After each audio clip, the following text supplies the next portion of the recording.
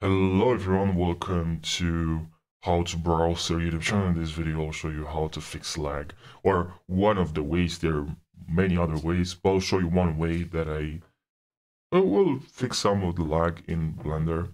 Um, you can also, by the way, you can also install Linux. That's most definitely will fix really the problem because not because Blender will run faster in, in Linux on Linux, that's for sure.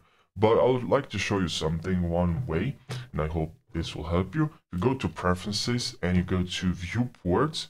Um, here, you have Viewport Anti-Aliasing, from 32 or I don't know what's your default, you can go with single pass anti-aliasing or no anti-aliasing. But this will fix the lag, but it will look a bit ugly like this. You'll see the some lines here not intersecting correctly. Not intersecting, but will just look sometimes ugly. I don't know how can I explain it exactly, but you know, I hope this uh, this will help you. You know, hope you fix the lag.